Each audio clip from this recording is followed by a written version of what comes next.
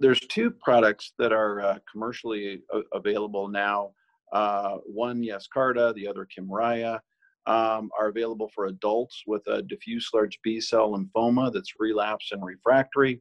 These are patients that really have failed all standard therapy, and, and there is no standard therapy for them. There's a real gap in the in the availability of treatments for these patients. And CAR T cell therapy now provides um, very meaningful responses in these patients.